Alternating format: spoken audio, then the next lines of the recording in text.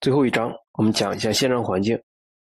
不管是在第一部分没有使用框架开发那个博客系统，还是说后两部分使用 Express 和 Core 二来开发，我们都没有讲线上环境，对吧？都是开发环境下怎么运行。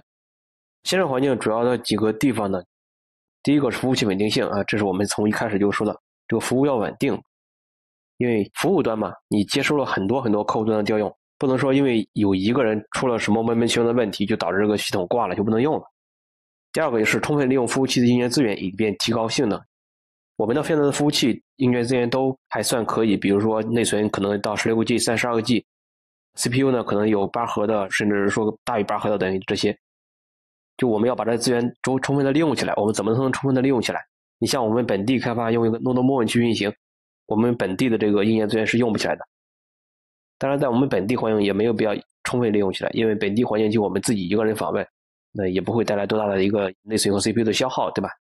所以说这个无所谓。但是到了线上就不一样了，线上给你的服务器你要用不起来，对吧？一台服务器那么多资源，你只用了一点点，然后一点点发现这一点点不够用，然后又没法扩展，然后再去扩展服务器，那肯定是不合适的。再往下呢，就是线上日志记录，就是我们说过有一个服务器稳定性的问题。服务器稳定性不是说我们一定要保证它程序不出错，这个是谁都不能保证的。我们说的服务器稳定性是说出了错之后，尽量的不影响程序的正常使用。那出了错之后怎么办呢？或者说有些事情有一些我们需要记录的事情怎么办呢？我们就把它放在这个线上日志中。我们可以通过线上日志来排查一些错误信息以及一些我们需要日常记录的一些信息。当然，线上日志包括自定义日志、错误日志，还有那个 access log 访问日志，对吧？访问日志我们之前已经说过了。访问日志就是通过 Express 和 Core 二那个 Morgan 那个工具。来去生成线上的访问日志，我们都已经说过了。那我们这儿呢，最主要的是说那个自定义日志和错误日志。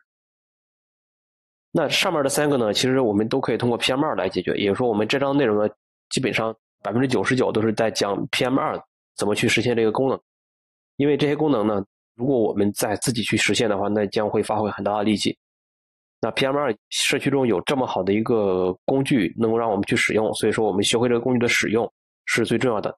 当然。我们还要学会其中的一些原理，这一章我们会去讲。比如说多进程为什么要使用多进程来去做，这个后面再去说哈。然后 PM 二呢，我们主要讲第一个机能守护，就是系统崩溃自动重启，这个就对应到我们上一页 PPT 的那个后端服务稳定性的那个问题，就是你的服务可以允许有一些 bug，有一些异常，然后导致系统崩溃，这都是可以允许的，因为谁的程序都不能保证说一个 bug 都不出，对吧？但是系统崩溃之后怎么办？PM 二就支持系统崩溃之后自动重启，也就是说我们常常说的这个进程守护，这样的话就能保证服务端的稳定性。然后是启动多进程，充分利用 CPU 和内存。我们刚才说过，商业 PPT 第二条就是充分利用服务器硬件资源，对吧？所谓硬件资源就是 CPU 和内存，基本上是这么认为的。然后我们要 PM 二支持启动多进程来去。分摊里面的 CPU 和内存，以及分摊我们服务端的一个计算和流量的一个消耗。最终的目的呢，就是我们通过多进程可以提高我们单台服务器对外的一个访问性能。然后是自带的日志记录功能。上页 PPT 最后也说了，我们要有线上日志的功能，对吧？这个 PM 二呢就有自带的日志功能。那我们回顾一下之前我们在讲 Express 和 Core 二的时候呢，我们说过自定义日志和错误日志，我们都通过 console.log 和 console.error 直接去用。正常情况下，console log、console error 是打印在控制台上的，对吧？那我们怎么让它写入文件中呢？那我们就会在这个地方去讲，通过 PM 二要把它写入到文件中。这种写入方式简单又方便。OK，我们看一下本章的一个目录。第一个呢，就 PM 二的介绍，先看一下 PM 二是个什么东西。然后 PM 二的竞争守护，这个是很重要的一点。然后是 PM 二的配置和日志记录，看一下它有哪些日常的配置。以及它是怎么把这个控制台中的一些打印的日志记录到文件中的？再往下呢，去看一下 PM2 的多进程，这主要看一下多进程怎么去使用，以及很重要的一点就是我们为什么要使用多进程？多进程到底是怎么能提高 CPU 和内存的一个使用率？最后呢，我们讲一下关于服务器运维的一个事情，这个事情不是本课的重点，但是我们也要稍微带一下。好，那我们先介绍一下 PM2。PM2 呢，这会儿介绍。第一个下载安装，第二个呢是基本使用，第三个呢是常用命令。PM2 它是一个线上环境下用于启动 Node.js 的一个进程守护的一个工具，就是我们线上环境下我们用 PM2 来启动，这样的话，我们的服务可以得到稳定，以及我们可以通过多进程来去分摊服务器的压力和资源，以及我们可以通过它来实现这个控制台日志来写入文件的这种操作。这是 PM 的一个基本功能。然后下面我们来介绍它怎么去使用哈。下载安装呢，我们直接通过 npm install PM2 杠 G 啊，杠 G 就是全局安装，通过这个来安装就行了。安装完之后呢，我们可以通过这个 PM2 杠杠 version 来去看一下版本。我可以看一下我现在的版本啊。我已经安装过了啊，我就不再重新安装了。版本三点二点三啊，这是我现在的版本啊。大家重新安装呢，可能版本会跟我的有所差异，这个没关系啊，继续往下学就行。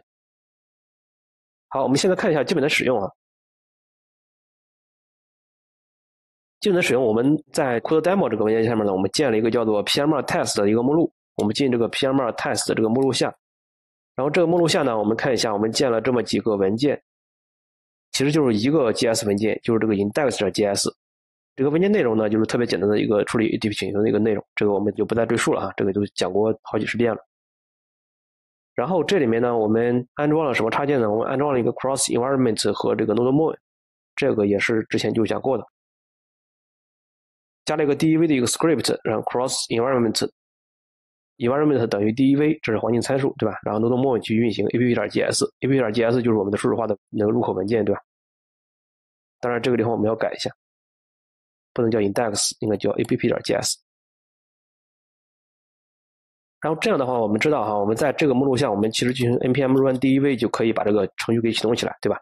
这是我们本地环境下去启动一个 Node 程序的一个方式哈。大家看有个特点，就是启动完之后啊，这控制台基本上你就没法用了，对吧？它是前台启动，就是这个控制台已经被这个 npm run dev NodeMoon 这个命令来占用了，我们没法去做其他的操作。但是我们先访问一下，看看行不行。刷新八千端口，确实返回了一个 JSON 格式的一个数据，这个没有问题啊，因为我们本节讲的也不是说返回的是什么东西啊，反正启动起来就行。然后我们看一下怎么去通过 PM2 来启动哈。之前我们说过，这个 DEV 是开发环境下，那我们现在就弄一个线上环境下 Production。Production 呢，我们肯定是要加一个环境参数的，环境参数一般会加成等于 Production，一般会加成这样。然后后面呢用 PM2 start app 点 js。PM2 就是我们要装那个工具的命令，然后 start 就是启动，PM2 去启动一个文件 app 点 js 就是这个代码的一个初始化文件。当然，如果你这个地方要应用到这个 Express 或 Core 的时候呢？你可能这个地方要写成一个 bin 三 w，bin 三 w 是这个 Express 也好，还有说这个 Core 二也好的这个入口文件，对吧？但是我们这儿呢就是 app 点 js，我们这儿就 app 点 js。OK，我们保存。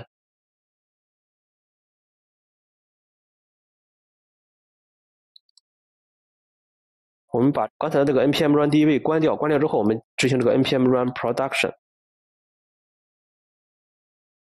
OK，大家看，我们执行完这个之后呢，它首先第一个特点就是程序已经起来了。为什么起来呢？我们可以访问看一下，程序确实已经起来了，因为我们访问是有结果的，对吧？第二个呢，就是我们现在的控制台可以用了，就是控制台已经交还给我们。然后它这儿输出了一个表，这个表中这个 APP A P P 它默认取的是我们启动的这个 PRM Start APP.js 的这个 APP 这个名字，他们取的是这个名字。然后我们后面会通过配置来给大家看一下这个 A P P 这个名字，我们可以改，I D 就是当前列表中唯一的一个标识，就这个服务。然后后面版本啊、什么 State Online 啊，这些都是他自己弄的。然后大家看这面有一个 Update Time，这个先不用管它，C P U 百分之零，然后内存 Memory 是占了十九点二兆，然后 User 是谁谁谁，然后 Watching Disable，Watching 就是说我们是不是监听，就是像 NodeMoon 一样。监听那个代码改变，我们自动重启，这个我们没有啊。我们后面会说怎么去给它配啊。这样的话，我们就把这个 PM2 的这个进程给它启动起来，只有一个进程啊，现在只有一个进程。我们如果是现在清空了控制台，我们可以通过 P M R list 来去看到我们当前的这个列表。